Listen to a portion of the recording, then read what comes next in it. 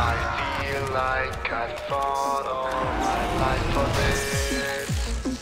This one. Hey! What just happened? just don't let it go. I started the fight, but now. Gonna kill you and then keep killing you and I'll never. Cause you're gonna be dead and I'm gonna kill you. I'm gonna take down to the train train station in Trade Town.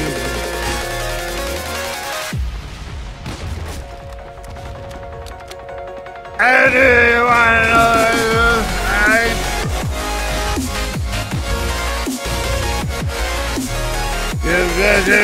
Your ass is ass and I'm the grass man, punk, you heaven heathen. I love you, man.